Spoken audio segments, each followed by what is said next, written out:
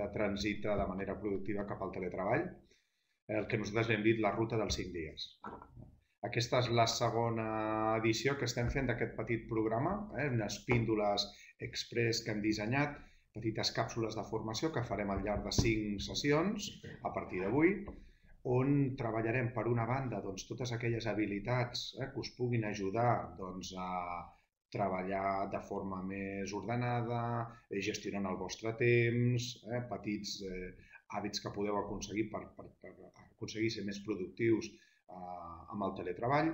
I per altra banda, això ho combinarem amb tres píndoles molt enfocades a la part més tecnològica, eh, a l'ús de les eines que teniu ara al vostre abast, com són eh, les eines que us ofereix Microsoft 365, amb les que veurem eh, en petites eh, sessions molt intensives doncs, totes aquelles eines que us puguin ajudar, doncs, per una banda, a tenir tota la informació molt més integrada, un recurs que treballarem que és eh, Microsoft Teams, que alguns ja esteu utilitzant aquests dies, doncs veurem com us pot ajudar doncs, a poder gestionar les vostres converses, a treballar en equip, a poder doncs, eh, fer petites videoconferències eh, amb, els vostres, amb els vostres equips.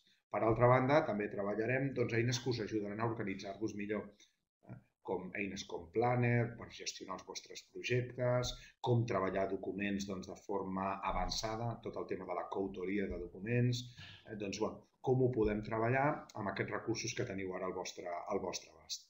Sí? Llavors, eh, comentar-vos que el format d'aquestes sessions són sessions d'una hora aproximadament. Eh, arrencarem avui ara amb aquesta primera víndola. A partir d'aquí, doncs, cada dia a la mateixa hora, de 9.30 a 10.30 aproximadament, doncs eh, anirem fent una càpsula, una càpsula formativa. Són sessions que, conduïdes per dos docents. La sessió d'avui ara us presentaré a la Marta, que és qui dirigirà aquesta sessió, i sempre hi haurà una persona de suport eh, que estarà donant resposta al xat. Eh? A la part, veieu a la part inferior dreta teniu un xat, per tant, qualsevol dubte que tingueu, pregunta que vulgueu fer al llarg d'aquests dies, la podeu fer en el xat i us anirem donant resposta. Si hi ha alguna pregunta destacada que cal doncs, després doncs, eh, comunicar i, i fer, eh, fer obert, de forma oberta a tothom, doncs sempre en la part final eh, la persona que dinamitza el xat doncs, potser li dedicarà un parell de minuts per presentar, eh, per, per, bueno, per, perquè tots escolteu la pregunta i, i la resposta. Doncs bé, sense perdre més temps, us volia presentar a la Marta, Marta Sierra, Marta Sierra és la persona que dirigirà aquesta primera sessió. Bon dia, Marta. Hola, bon dia. Com esteu? I també us volia presentar a la Berta, la Berta Cuevas, que és la persona que també eh, de l'equip de la Marta, que dirigirà també, bueno, conduirà una mica tot el suport, el xat, dubtes, preguntes doncs, que tingueu i que vulgueu fer. Bon dia, Berta. Bon dia, bon dia a tots. Uh, aquí estarem vosaltres, des del xat. Molt bé. Moltíssimes gràcies. Doncs bé, jo no us vull eh, fer perdre més temps, per tant, si us sembla, eh, Marta, quan vulguis, eh, tot teu, eh, que et vagi molt bé i moltes gràcies a tots, torno a repetir, per la vostra, per la vostra atenció. Eh, sé que doncs, bueno, ja som uns quants connectats, suposo que al llarg dels minuts es connectaran més, més participants. Moltes gràcies, Marta, endavant. Ok, moltes gràcies.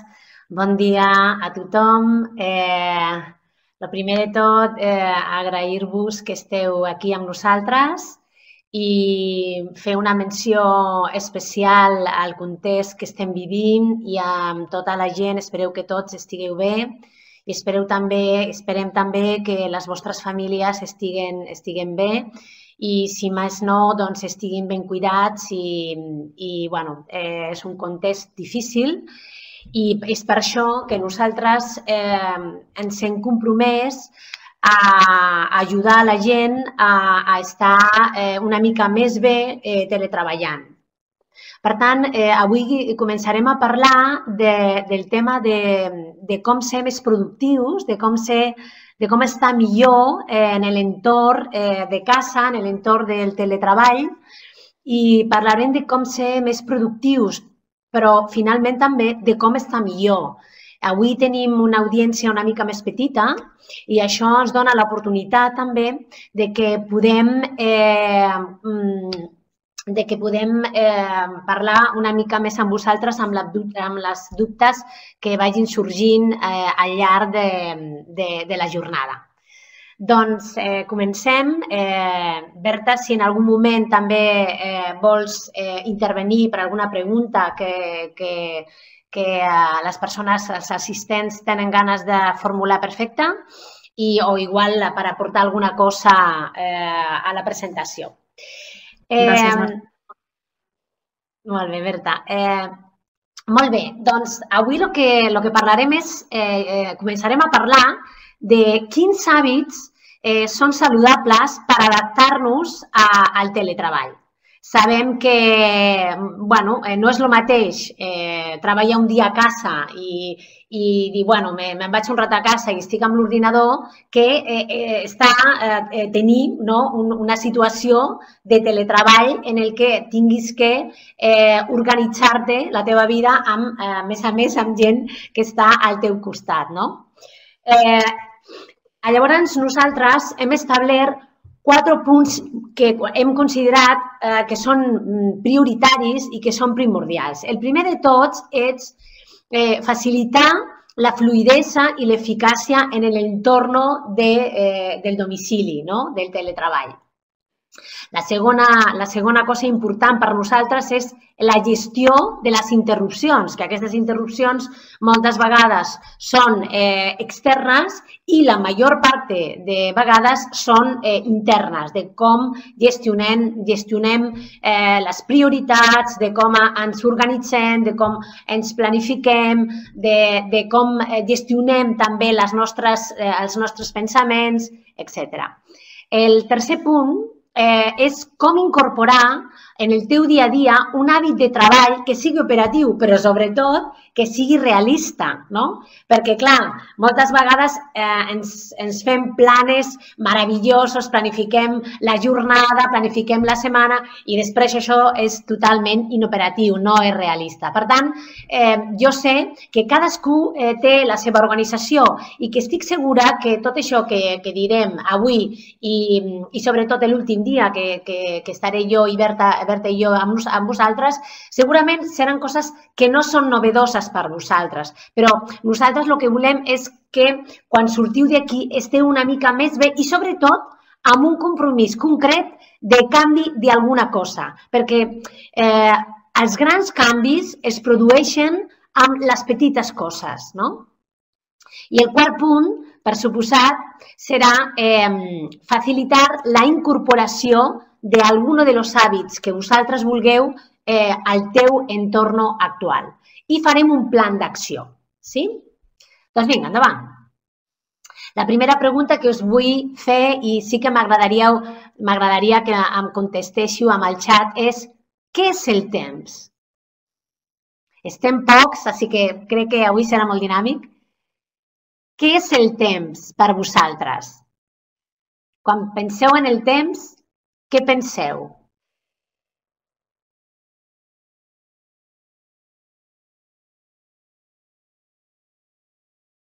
Hi ha algú que està escrivint? Què és el temps per vosaltres? Què significat té per vosaltres el temps?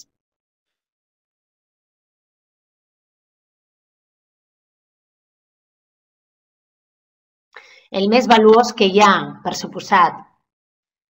I què més?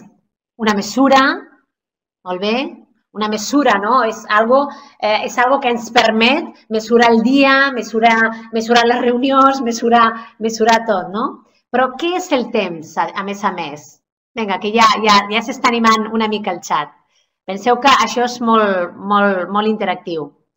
La possibilitat de fer coses el que ens dona ordre a la vida. Exactament. Uh -huh.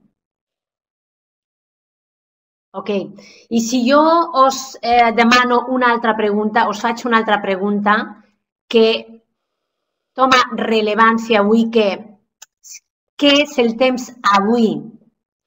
Com ha canviat la, la pel·lícula de aquí, eh, a dos setmanes o tres setmanes, no? Quina nova dimensió s'ha obert en les nostres vides eh, con esta pregunta, no? Però jo diria també que mm, quines oportunitats, quines noves oportunitats eh, s'han obert amb, amb el nou context, amb aquesta pregunta de què, què és el temps avui. No? Per tant, eh, hi ha una oportunitat, sin duda, i és que eh, tenim noves, eh, nous espais de relació, eh, relacions diferents, relacions online, on no, no, no, ens, no ens podem tocar, no podem a vegades eh, interaccionar de la manera que nosaltres volem, però també ens dona oportunitat i ens reta a nosaltres mateixos d'adaptar-nos eh, el més ràpidament possible a aquesta nova situació, gestionant de la manera que puguem les relacions, l'organització, la planificació i, sobretot, també les emocions i l'estat d'ànim. Eh, així, tot és virtual, Sònia, tot és virtual en aquests moments. Ara, exactament, Judit, ara diu, ara tinc més i decideixo jo quan començo i acabo les coses. No tinc tan marcat per factors externs. Sí, i això eh, pot ser una oportunitat a vegades, Judit, però també pot ser a vegades que eh, això eh, faci que allarguem molt la jornada laboral. Inclús si tenim oportunitat perquè no tenim els nens endavant o la gent que viu sola, allarga molt la jornada laboral i no té hora d'entrada i de sortida. I això, a vegades, eh, es pot convertir a, en un aliat, però també es pot convertir en un sabotejador. No? I anirem veient una mica per què. No, hi ha horaris molt diferents, Miguel, eh, Miquel, és veritat.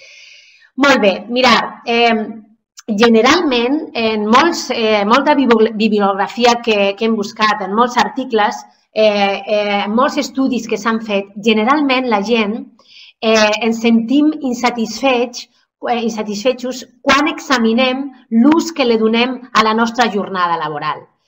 Generalment, eh, no, la pregunta que, que normalment fem quan, quan anem al col·le, quan, quan anem al, al, al supermercat, quan, quan parlem amb la gent és eh, què tal, com estàs?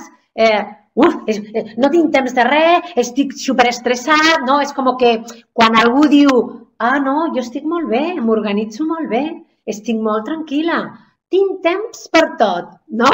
Això, quan, quan algú nos diu això, el mirem així i diem, ostres, aquesta s'ha fumat alguna cosa, no? Aquesta s'ha fumat, fumat alguna cosa. Perquè normalment queda bé dir que estem tots molt estressats, no? Però això eh, a vegades ocorre que la vida no es para, no?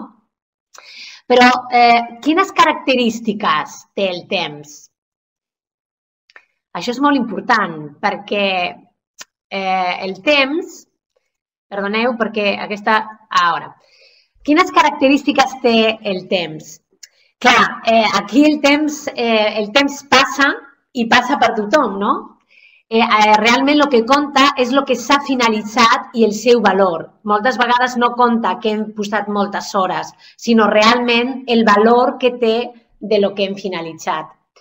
Eh, S'han fet estudis que demostren que normalment la gent perd de 3 a 4 hores al dia de manera involuntària, sobretot per no planificar, per ser excessivament perfeccionista o per no prioritzar.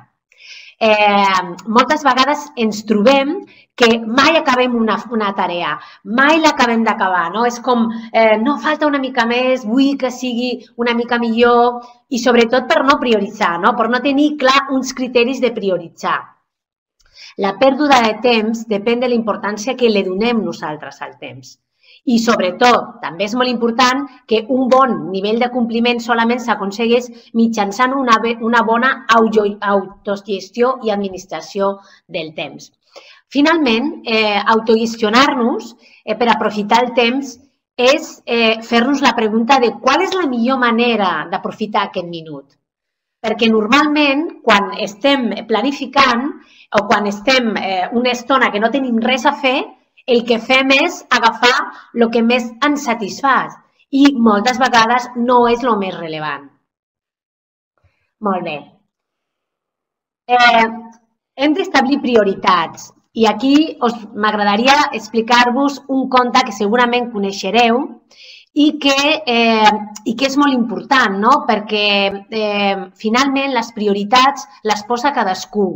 Eh, I m'agradaria fer una reflexió amb això, no només amb les piedres grandes de nostra vida, sinó també amb les piedres grandes de la nostra feina. No? I aquí sí que m'agradaria que poguéssiu agafar un foli i un paper i escri, escriviu en el paper les quatre o cinc coses que són més importants per vosaltres a la vostra vida. Sí? Agafeu un paper, agafeu un boli i podeu escriure les quatre o cinc coses que són més importants, més prioritàries a la vostra vida. Sí? Esteu ahí, xat? Molt bé. Doncs mireu, us explicaré un conte. Va dir que uh, un, una vegada un, un professor de universitat volia explicar als seus alumnes que, que la importància de, del temps i les va dir que posessin, uh, bueno, que, que posessin les cinc coses més importants a, a la seva vida, no? I llavors va agafar un pote de cristal i va posar un munt de pedres grosses al pote de cristal, ¿no? Y ya llavors les va hacer la pregunta, eh, ¿cabe algo más en este pote de cristal? ¿Y sabéis cuál fue la, la respuesta de, de, la audiencia? No, claro, eh, está, está todo lleno, ¿no? Está, ¿Cabe algo más? Sí, ¿no? ya el coneixeu. Llavors, ¿qué pasó? Eh, pues que cogió eh, cogió unas piedras más pequeñas y les volvió a meter en el pote, ¿no? Y entonces eh, les volvió a hacer la misma pregunta. ¿Cabe algo más en el pote? Y entonces los alumnos dijeron, no, ahora sí que realmente está lleno, ¿no? Ya no se puede meter nada más, ¿no? Y realmente mm, volvió a coger eh, eh, de nuevo arena y les hizo la misma pregunta. Y de nuevo cogió agua y les hizo la misma pregunta. De manera que eh, al final les hizo, ¿qué habéis aprendido de esto? ¿no? Y entonces un alumno dijo, bueno, pues que no importa eh, la cantidad de trabajo que hayas hecho, ¿no? La cantidad de, cosas que hayas hecho en el día, que siempre puedes meter algo más, ¿no? Y el, el, profesor les dijo, realmente eso puede ser una moraleja de este cuento, pero lo más importante es que si tú no metes primero en tu trabajo, en tu vida, lo que es prioritario, después lo otro no cabrá. Porque si nosotros metemos eh, primero la gravilla o la arena o, el agua, después no podremos meter lo que es importante. ¿Vale? Entonces, a mí me gustaría que vosotros me dijeseis por el chat qué es lo más importante eh, para vosotros, qué cinco cosas habéis escrito en ese papel. ¿Qué, ¿Cuáles son las cinco cosas más muy bien, veo que estáis escribiendo, perfecto. Este chat así pequeñito, porque el otro día estábamos más, nos permite, muy bien, salud, familia, amigos, la teva filla, Sesca, la parella, la família, la feina, els amics, la família, la salut, l'amor, la felicitat. Aquest, aquest nou context d'ara ens, ha, ens ha recordat el que veritablement és important, no? Perquè, fixeu-se, eh, nosaltres portem molt de temps fent cursos de productivitat, de gestió, de, de gestió de, de, del temps, i veiem que si la gent no té claritat amb això i és congruent amb això, després la feina no, no, no està bé, no està bé en la feina, no? perquè tot, bueno, són persones, eh, són seres integrales y si estem mal en un hábito de nuestra vida, lo que ocurre es que lo llevamos también al trabajo. Por lo tanto, eh, tenemos que tener tiempo de calidad y todo esto que vamos a decir hoy, tot això que direm avui de planificació, d'organització, el pròxim dia també de cuidar el teu estat d'ànim, fa que les pedres grosses de la teva vida estiguin molt millor si tu a la feina estàs organitzat i estàs en el màxim rendiment. Gràcies. Moltes gràcies per col·laborar perquè fa que, que això sigui molt més ric. Per tant, quines són les de la teva vida, no? I heu la salut, la família, els amics, defensar alguna causa, portar a alguna cosa que t'importa molt. Eh, eh, aquesta és la realitat. Mirar, eh, que a la oficina se ve, de, se ve de todo, ¿no? Se ven los prolígitos obsesivos que anotan todo en su agenda, se ven los ultra tecnológicos que organizan todo en su iPhone y después estamos los normales, los, los hombres y las mujeres posits, ¿no? Quin perfil sou? Bueno, ser una mica de tot, però mirar, eh, m'agradaria explicar-vos això, que això és molt important, no? Eh, pot haver-hi agenda POSIT, molt bé, Judit. Tipus de sistemes de gestió. Mirar, eh, la, hi ha gent que només eh, se queda en la primera generació. Recordatoris i simples notes. bueno, això ja és una primera, una, un primer sistema de gestió que és millor que no fer res, per suposat.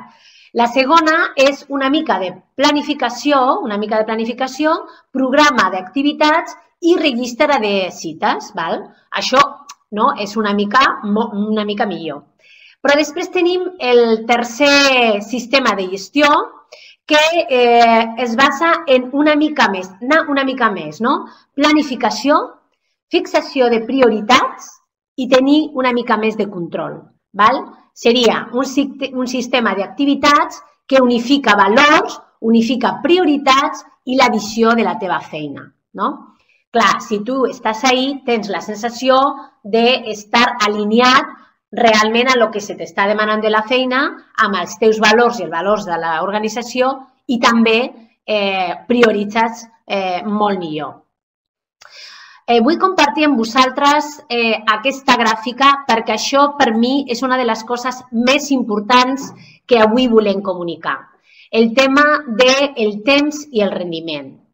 Eh, mirar, normalment, quan, eh, quan estem treballant eh, i, i obrim el xiringuito, no? i molt més a casa, no? quan estem teletreballant, eh, doncs, bueno, nosaltres eh, obrim l'ordinador, eh, ens preparem eh, els documents, ens preparem el mòbil, no? deixem tot, eh, tot mm, una mica preparat, eh, comencem a, a, a, yo qué sé, doncs, por ejemplo, a hacer un informe importante i entonces, desde que comencem fins que eh, alcancem un, un rendiment bo, un, una acció de treball elevada, ¿vale? Eh, ¿Qué ocurre? Bueno, lo que ocurre es que eh, passa un temps, un temps que puede ser de 10 a 15 minutos, ¿vale?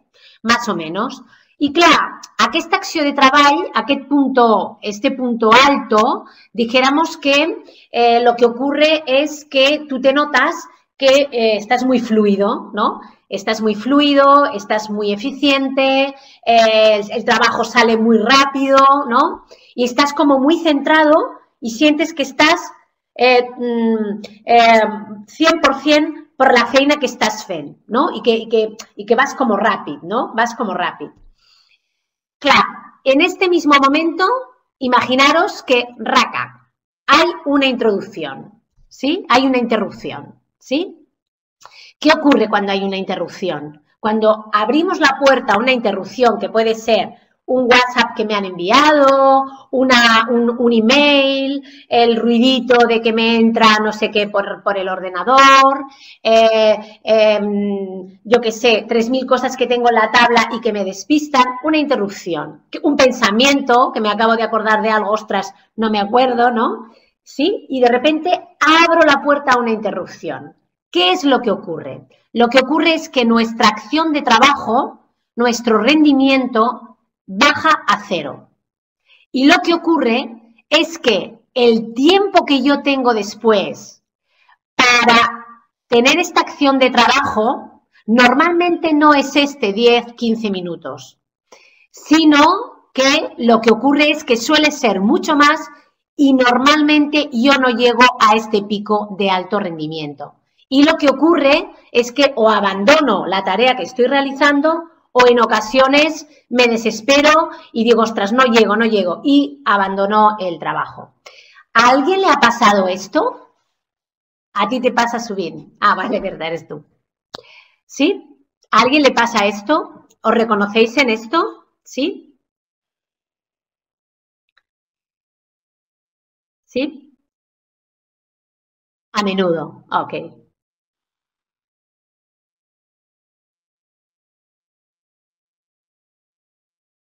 Molt bé, molt bé. Aquests dies, a més, el WhatsApp no, no para, no especialment, ok.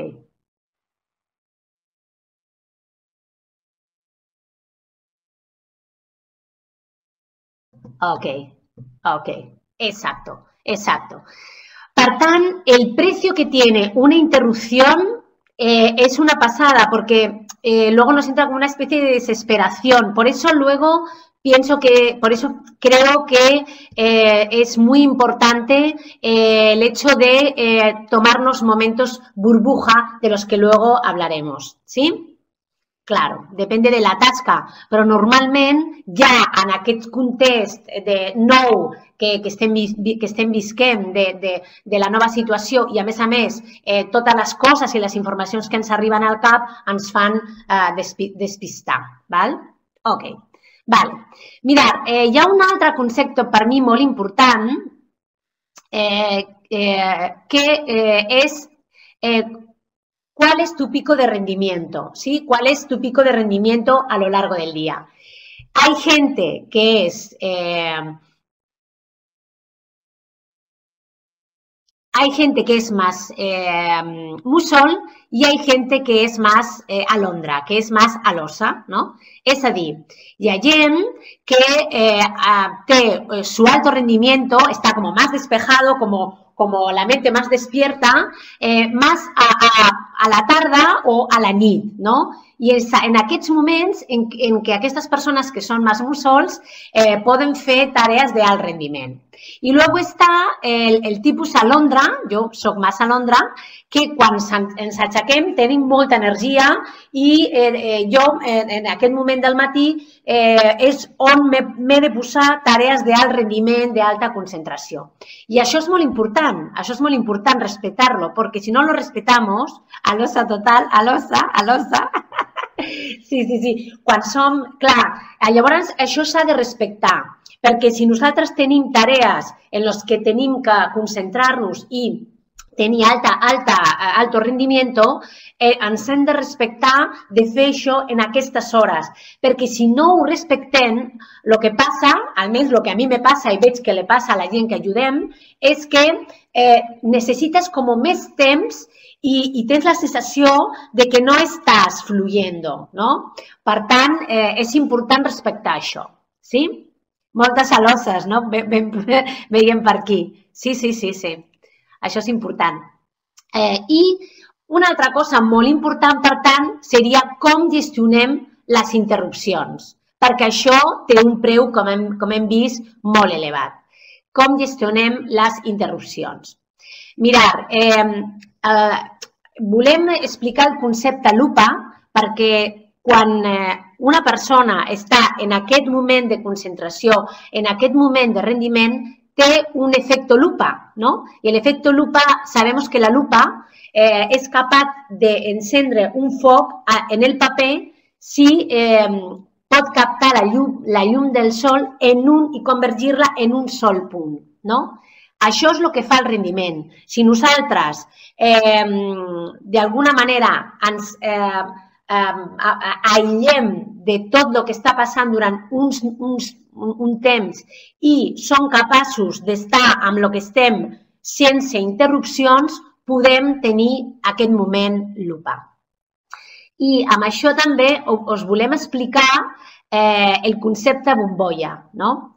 Nosaltres diem eh, el moment bombolla, doncs aquells moments del dia en què podem estar aïllats de sorolls, aïllats d'interrupcions, de, eh, de whatsapps, de, eh, de correus, és a dir, eh, almenys un moment al dia o, eh, si no podem un moment al dia, eh, tindríem que tenir dos o tres moments a la setmana, tenir moments bombolla. Mirad, el moment bombolla, eh, perquè surti bé, eh, seria avisar a la gent que hagis d'avisar de que vas estar un moment sense el mòbil o sense eh, contestar trucades o almenys eh, eh, o les trucades desviades o avisar que vas a estar una hora i que tu has d'escollir el moment del dia que mm, pots eh, escollir aquest moment millor.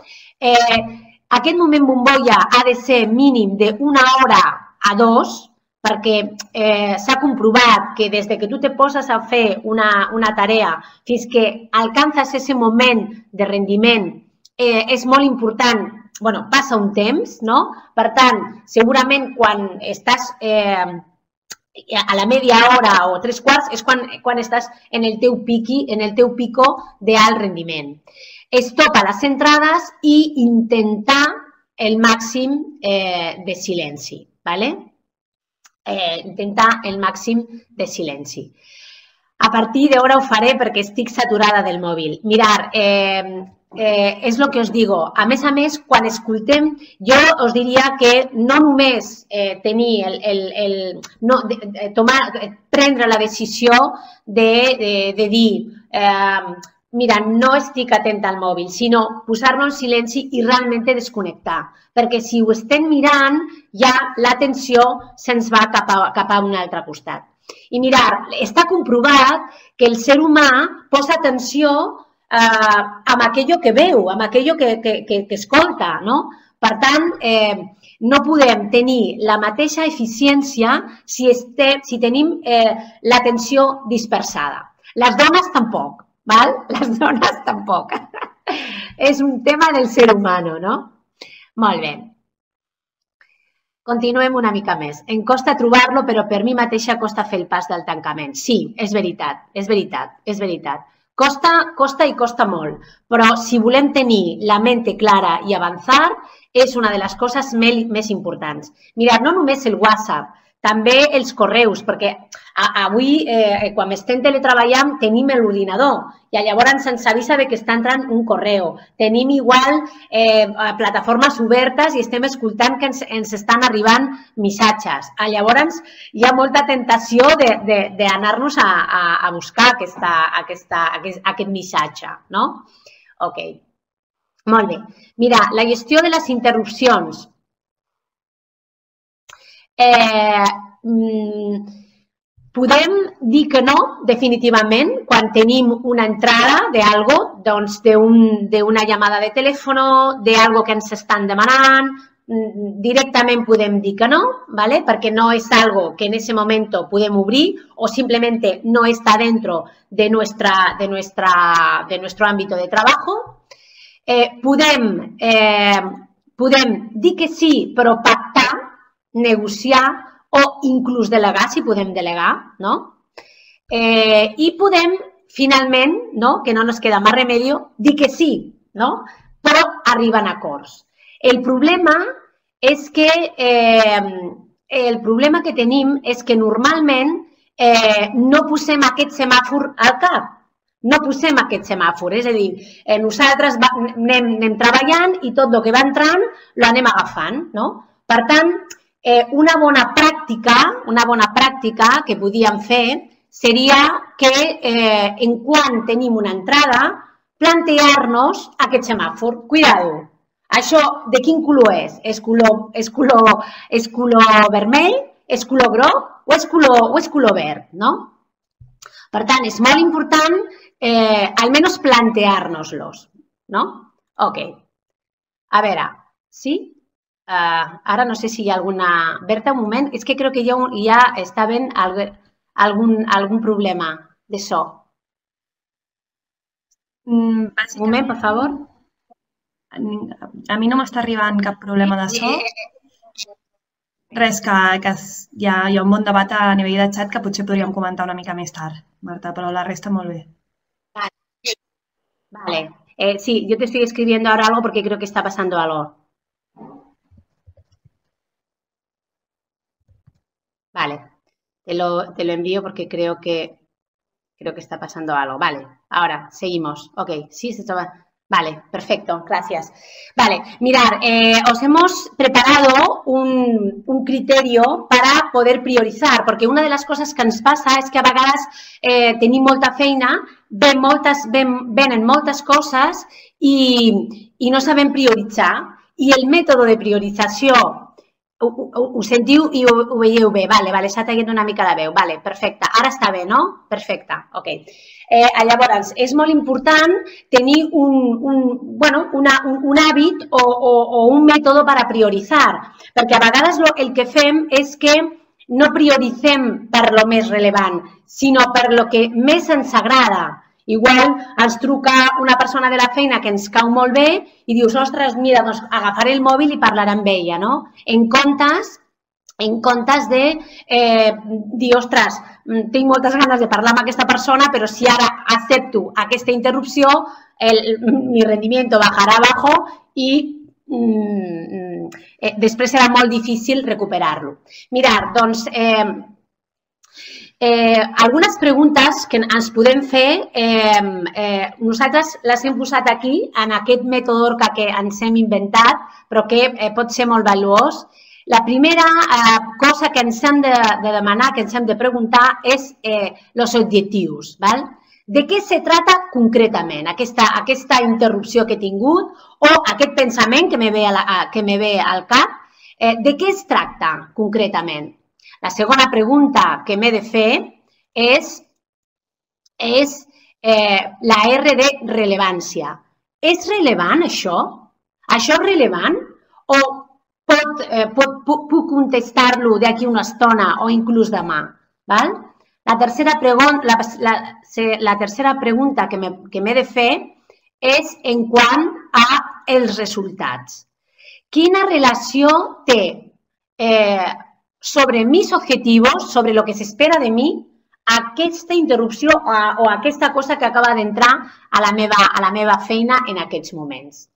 I la quarta cosa és una cosa molt important, que és què passaria avui, aquesta setmana, si jo no faig res? Quines conseqüències, quins costos tindrà per mi, per als meus companys, per altres departaments, per als meus clients externs e interns, si realment jo avui no faig res d'això que ha entrat avui a la meva feina. No? I finalment, perdoneu perquè estava preparant la, la presentació per, per fer-la d'una altra manera, eh, si jo no sé la prioritat, a qui podria demanar, a qui podria preguntar aquesta prioritat? No? Lo que, lo que, lo que no podem fer és eh, quedar-nos sense la contestació. No? Per el mètode ORCA ràpidament ens permet eh, situar una entrada que ens vingui amb un lloc de prioritat o de hacerlo en segundo plano o incluso mañana o incluso de aquí una setmana. ¿no? Molt bé. Ah, y ahora, perdonar porque tenemos que pasar esta diapo. Vale, ok. Eh, claro, normalmente lo que nos pasa es que em, em, cuando hablamos de prioridad, cuando hablamos de, priori de, de planificar, eh, ens posem excuses, ens saboteiem nosaltres mateixes, no? I diem, bueno, mira, saps què passa? Que jo ja tinc pensar el que, el que he de no me, fa, no, me, no me cal una llista. Després també el que pensem és, eh, ostres, planificar és una tècnica, una tasca molt complicada i exigeix molt de, del meu temps. La tercera cosa que a vegades pensem és, faria que em sentís eh, pressionat i em produiria molt d'estrès. M'agrada viure sense estar eh, sumets eh, a unes regles i a un horari. No? Eh, també és important eh, que a vegades el que pensem és la programació no em permet que hi hagi flexibilitat ni tampoc que hi hagi eh, espontaneïtat. Una altra excusa que ens posem és, mira, els, els horaris i les llistes de, de coses per fer no són per mi. A mi m'agrada, bueno, mira, eh, pues anar fent, no? I eh, a vegades també el que pensem em molesta estar sempre pendent dels assumptes eh, que he de resoldre, no? Eh, I, bueno, ja no puc establir un, jo no puc establir un horari, però em resulta impossible complir-lo, no?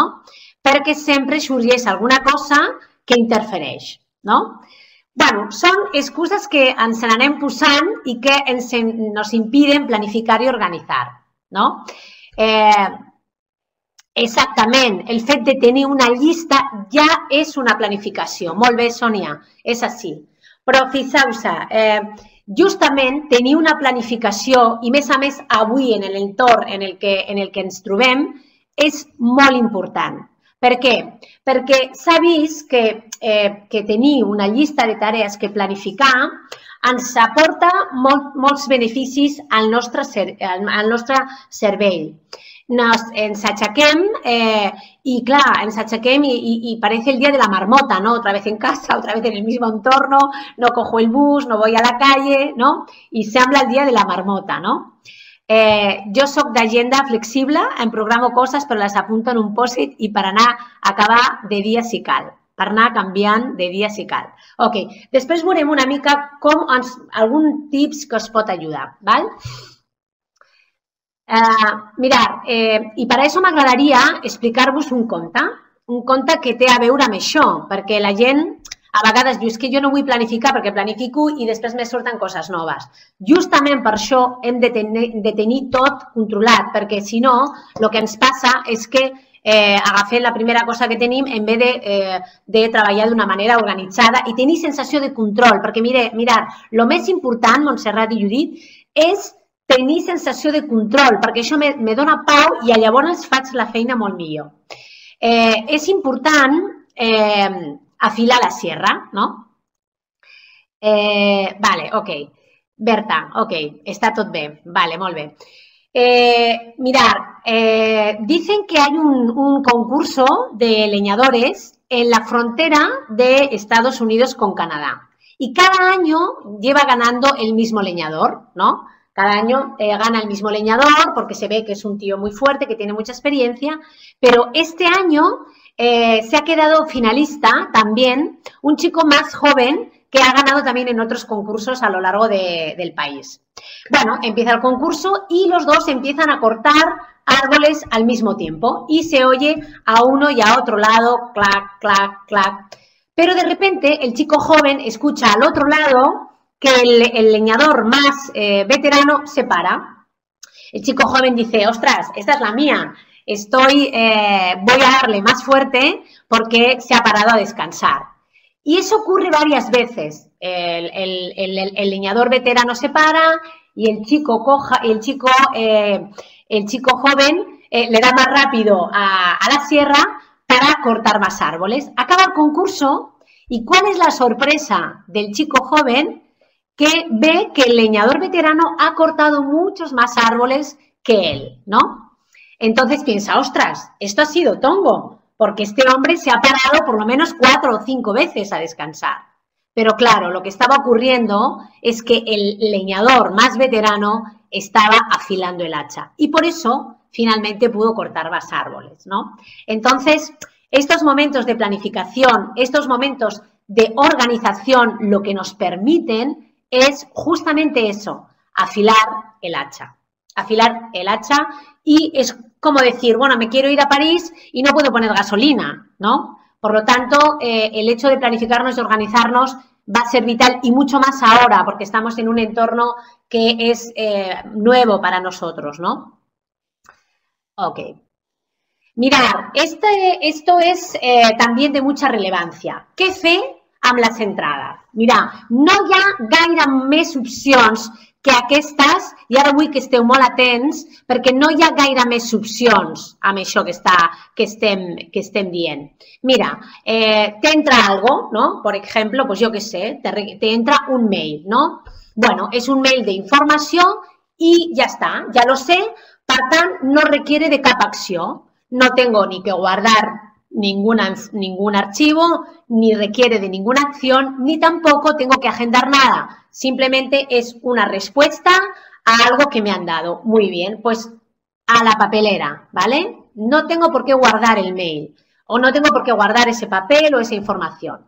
ya la sé, pero la tengo que iniciar más adelante. A dir, és una informació que m'arriba o un projecte nou que m'arriba, però eh, l'activarem més endavant.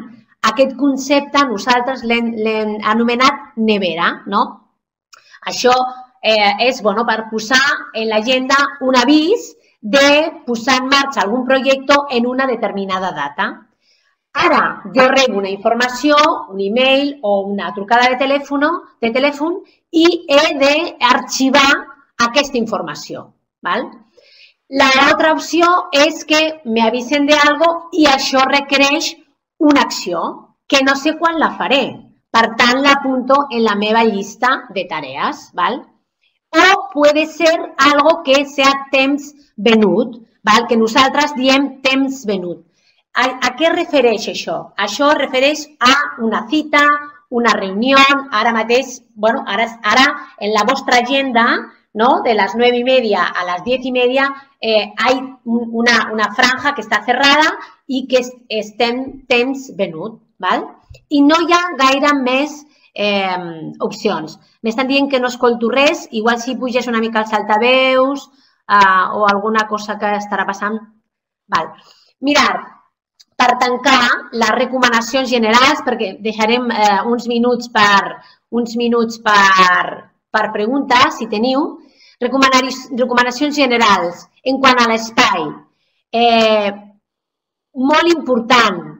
Mira, fes-te un lloc a la teva casa, eh, si pot ser una habitació, perfecta. Sabem que, que tots tenim, eh, els nens eh, tenen que fer deures, el, el nostre, la nostra parella també necessita un espai. Per tant, si no pot ser una habitació eh, en la qual te puguis aïllar, sí que seria recomanable que tu fes un lloc a, a, a la teva casa que sigui eh, el lloc ofi oficina, que diem, no? És molt important mantenir-lo ordenat, perquè ara vull que veieu aquesta foto. Què us provoca aquesta foto? Veieu que esteu escrivint. No? Així a primera vista, quines són les sensacions, quines són els sentiments, no? Angoixa, agobio, distorsió, desordre, estrès, terror. que horror, no? Imagineu-vos no? que us aixequeu per, la, per, per al matí i aneu al vostre lloc de treball i us trobeu això, no? no? Imagineu-vos ara que us trobeu això. Així de bones a primeres, què us provoca? Poques ganes de treballar, clar. Molt bé, molt bé. Ganes de treballar, Certa fredor, sí. Bueno, després falta, faltaria una foto de la família, no? Ok. Sí, però és perquè veieu la diferència i, i també perquè veieu que comença a treballar, molt bé, molt bé, començar a treballar, ordre, una mica de, de fredor, però millor més ganes de posar-me, inspiració, ok. Mirar, eh, que està clar és que nosaltres, no? els sers humans, són sers visuals. I el primer... Li falta la pell de plàtan, Àngel. sí, que bo. Sí, sí, sí, aquí està la pell de plàtan, la veieu? Està aquí. Mirar, som sers visuals. Ah, llavors, si nosaltres comencem la jornada d'aquesta manera, passen una sèrie de coses en el nostre cos i en la nostra, en la nostra ment. I si comencem la jornada d'aquesta manera, passen una altra sèrie de coses, no?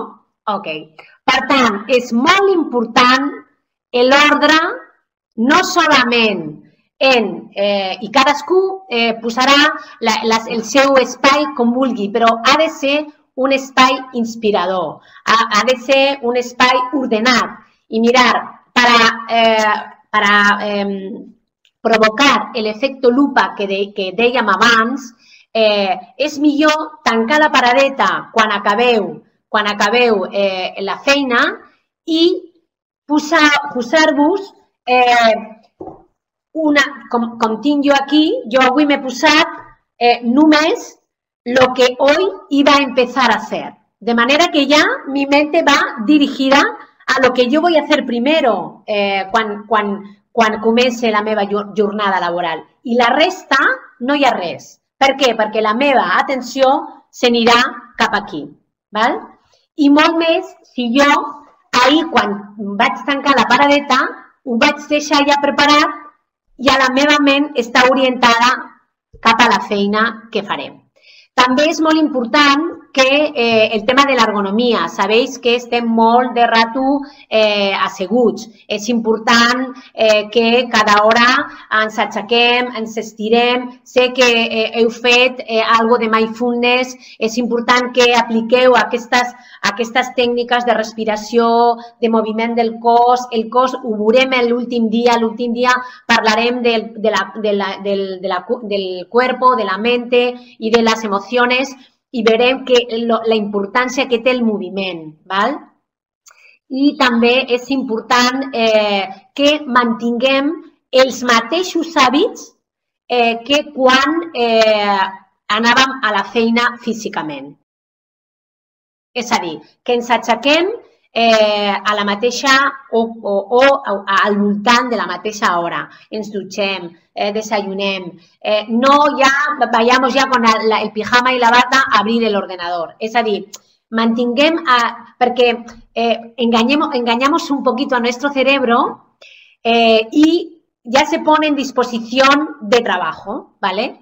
Es decir, eh, si estamos, eh, la cama sin hacer, bueno, cada uno que haga la cama, que haga lo que quiera, ¿no? Pero es como, lo dejamos todo listo como cuando nos vamos a trabajar, ¿no? Y ya nos ponemos, ¿vale? Eso és muy, muy importante. Totalment d'acord, acostuma a fer. Si va superbé, això només tenia jo que necessitaràs durant el dia. Exacto, Judit. Molt bé. M'agrada molt les aportacions que esteu fent perquè me, me, me, fa, me fa seguir eh, la vostra conversa. Mira, eh, l'horari, l'horari és molt important. Mira, eh, una altra cosa molt important és, és el tema de planificar-te, val? Eh, és el que hem dit, dedicar un temps a planificar i a organitzar el teu, el teu dia a dia i la teva setmana. La recomanació seria que tu quan entres ja dius, a veure, tinc això, tinc això, vale, tinc la meva llista de tarees, què és el que jo avui eh, faré primer, no? Jo faig el llit més ara que quan anava a la feina. Sí, porque claro, ahora lo estás viendo y te, y te hace todavía, dices, ¿lo ves? Cuando te vas a la feina, no lo ves, ¿no? jo també. Molt bé, molt bé, això està molt bé. És el llit. Molt bé. Però mirar, també és important el que hem dit, no? Eh, tenir uns hàbits, ¿vale? Eh, no és sano, no és sano eh, que cada dia obrim l'ordinador a les 8 del matí i no lo tanquem i que a les 10 de la nit tornem una altra vegada. Això es pot fer d'una manera excepcional.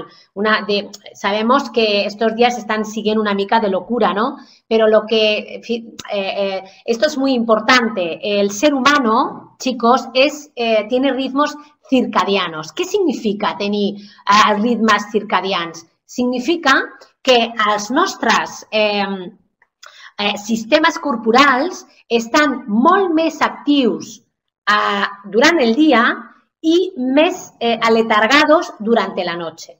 Eso significa que eh, lo que necessita el nostre cos i la nostra ment per dormir millor és que hi hagi una rutina. Es decir, que el cuerpo, que la mente, que el sol entre, si no, no tenemos posibilidad de sol, que pongamos mucha luz, porque si no, hay una, hay una sustancia que se llama melatonina que se genera cuando empieza a haber la oscuridad. Por tanto, intentar estar en una sala que haya luz o que si no tenéis luz pongáis luz artificial, eso ayuda a estar más despierto también. ¿sí? Y sobre todo, establecer una rutina de entrada y de surtida i que, i que mm, intenteu que cada dia, o si no cada dia, quasi cada dia, sigui la mateixa. Això és molt important. Àngel, tu te fas el llit? Àngel, gràcies. Te fas el llit, tu? molt bé. Eh, també és important eh, no allargar més de 8 hores la jornada. Mira, eh, s'han fet molts estudis en quant a eh, el rendiment de, de, de les hores, d'allargar, de, de, de, de tenir 5 hores de treball. Sabeu que amb això s'han fet molt, molt, molts estudis. Això no ha canviat, no, Àngel? Tu no te fas la cama i no te la faràs. Doncs molt bé, això està molt bé. I el que s'ha comprovat és que allargar la jornada més de 8 hores aquest allargament no fa que la gent tingui més rendiment. És a dir, normalment el rendiment sol ser més baix i la gent eh, acaba agotada. Per tant, no significa treballar més, sinó que les hores que estem treballant siguem més productius, tinguem moments d'alt rendiment. Eh, I luego també és molt important perquè estem a casa i molta gent està sola i pese a que ens, ens estem comunicant per les redes, tal, eh, el que seria important seria que aquests petits descans que nosaltres recomanem, recomanem eh, fer-les eh, por ejemplo, a mig matí, doncs 15 minutos, pues igual que estiguessis a l'oficina, no? 15 minutos te fas un cafè o fas un, una parada, t'estires, respires, eh, truques a algú per socialitzar-te una mica, eh, a, a migdia parar unos 45 minutos, però parar, no comer delante del ordenador perquè si no no desconnectes, i després a la tarda ho mateix, no? Si estàs fins a les 5 o, o a, fins a les 6, doncs també 10 minutets d'aixecar-te, de beure una mica d'aigua, de fer algun WhatsApp, val? I durant la resta doncs, eh, les redes. No? I és molt important també el que hem dit, no? de cuidar, cuidar el teu cos eh, estirarte, caminar. Ya sabemos que estamos en un entorno que, bueno, las casas son, son como son, ¿no? Ojalá la gente tenga muchas terrazas. Yo tengo una terraza muy pequeñita, pero de vez en cuando salir, coger aire, ¿no? Que nos dé un poquito el sol y estirarnos y todo esto eh, nos puede ayudar muchísimo. I després està tot el tema d'organitzar-nos, val? Eh, que té a veure amb, mira, si jo tinc una llista de tasques, que està fora de la meva ment, amb un paper o amb, amb, amb l'ordinador, ya mi cabeza no está pendiente de eso, ¿vale? Acordaos sobre todo de la agenda. En la agenda solo tiempo vendido. ¿Y por qué tiempo vendido? Perquè si nosaltres posem a l'agenda tasques, lo que ocurre és que ahí yo pensaba que avui faria no sé què i resulta que no m'ha entrat una cosa que és més relevant i el que havia posat a l'agenda com a acció no ho faig. I què passa? Que lo passo a demà. Demà resulta que tampoc lo puc fer i lo tinc que passar a l'altre, a l'altre, a l'altre. I això té el risc, primer, de que, ostres, eh, d'insatisfacció, perquè penso, ostres, no ho faré mai, i després de que es perdi en algun dia de l'agenda i se m'oblidi fer aquesta tasca. Per tant, la, la, nostra la, la nostra recomanació és que l'agenda només es posin eh, algun avís i temps ven, venut a bueno, pues, eh, reunions, cites, etc. Hem de recordar-nos d'endreçar mm, les entrades, això és molt important. Ahí falla, jo, jo no m'organizo, sinó que voy al momento. Error. Sí, Patricia. Perquè mira, ir al momento té el risc que escullis allò que més satisfacció te dona. No agafaràs un sapo. No hem parlat dels sapos. Los sapos són aquellos aquellos, eh, aquellas cosas que cuando las vemos, ¡ah! ¿no? O porque sabemos que es ah, un proyecto muy largo, o porque es muy farragós, o porque no, no, no, no, nos apetece mucho, ¿no? O yo recomiendo un libro que eh, se titula eh, Tráguense ese sapo.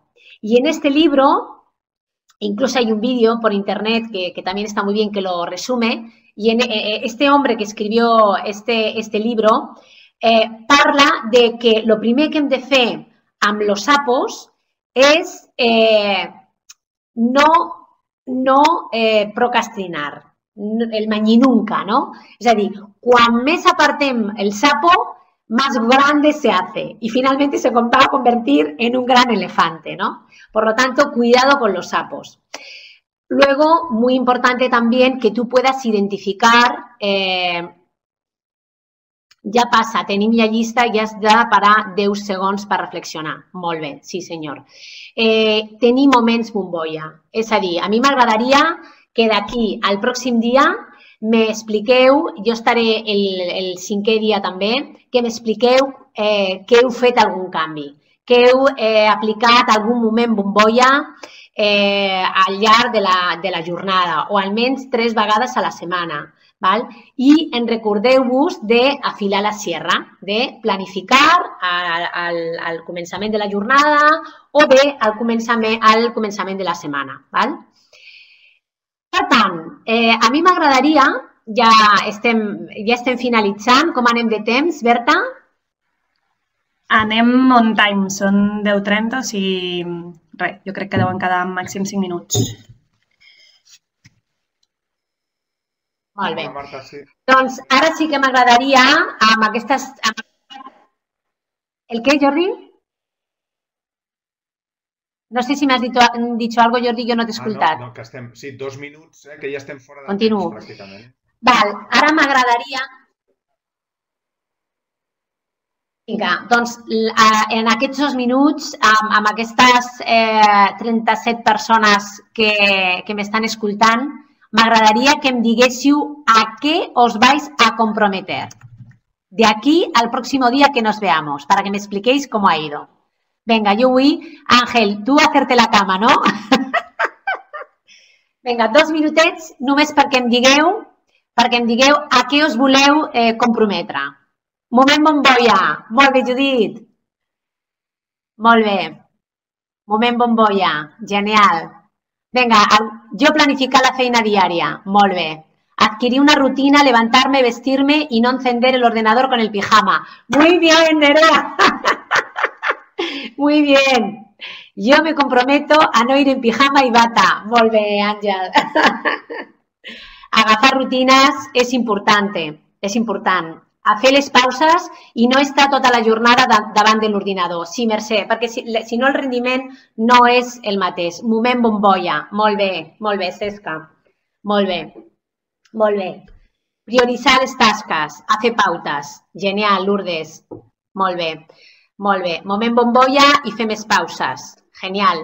Doncs ja eh, anem tancant. A mi m'agradaria que eh, ho poseu, perquè mirar, eh, aquest, aquest mm, ratet que hem compartit no va canviar vostra vida, para nada, però sí que lo canviarà les pequeñas accions que feu eh, avui mateix, demà. Sí? bueno, doncs per la meva part, eh, res més. Moltes gràcies per la vostra atenció. Espero que hagi sigut d'utilitat per vosaltres i que tingueu una bona jornada de teletreball. Doncs moltes Endavant, gràcies, Jordi. Marta, moltes gràcies, Berta, i moltes gràcies a tots per la vostra participació. Eh, sabeu que continuem demà amb una nova càpsula. Demà ja arrencarem amb una càpsula més enfocada cap a temes TIC, eh, competències més digitals. Entrarem una mica doncs, amb tips i recomanacions que us poden ajudar molt a ser més, eh, més àgils amb Microsoft 365, que són les eines que teniu ara al vostre, al vostre abast. ¿Sí? Jordi, eh, me parece que se está cortando. Se está cortando, no se te oye bien. Sí. Doncs, bueno, en principi és el que estava comentant. No sé si es talla una mica, però si no, sobretot comentar-vos això, eh? que demà continuem, una nova sessió, us esperem a les 9.30 un altre cop, eh, treballarem les competències digitals Microsoft 365 i us acompanyarà la Maite Aldomà i el Patricio Fernández en aquesta sessió. Um, ja veureu molt, molt, molt interessant, amb petites simulacions de pantalla que farem de com treballar amb Teams, com treballar amb OneDrive, la gestió documental, la coautoria de documents, eh? i aquest és l'enfocament que li donarem les properes tres eh, píndoles. I l última tornarem a recuperar la Marta i a la Berta, que us ajudaran doncs, a, a tancar aquest, eh, aquest procés dissenyant el vostre pla, el vostre pla de treball. Doncs bé, eh, únicament comentar-vos que teniu una petita enquesta activada. Ens agradaria si ens podeu fer una petita mm, valoració que sempre ens ajuda a millorar i donar sobretot també les gràcies al Centre d'Estudis Jurídics per donar-nos l'ocasió de poder eh, col·laborar amb ells amb aquesta, amb aquesta iniciativa tan potent. Bé, moltes gràcies a tots i ens veiem demà a les 9.30.